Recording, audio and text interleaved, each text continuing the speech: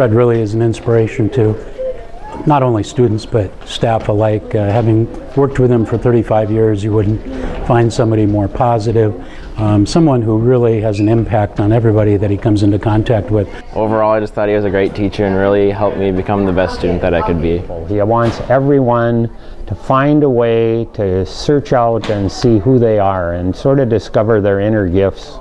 After 42 years, St. Cloud Cathedral High School biology teacher Fred Rupp is retiring. Since I started teaching, people would say, oh, kids today. And usually in a negative way, they would say that.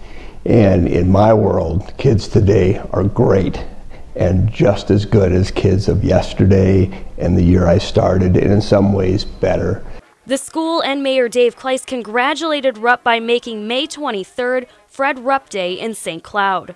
I was surprised. Uh, my wife, they, a limo came to get me this morning, and my wife was trying to stall me, and I don't like being late. Rupp says although he's retiring from teaching, he will remain Cathedral's boys cross country coach and the leader of the Voyagers Wilderness program. I'll still be involved with coaching, so I won't miss out on my time with, uh, with the school, uh, but I just won't be in the classroom anymore. As his teaching career comes to an end, Rupp says Cathedral will always be his home.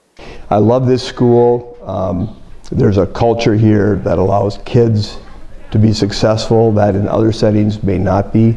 Um, and that's, that's this place to me. Rupp graduated from Cathedral in 1969. Chrissy Gutke, WJON.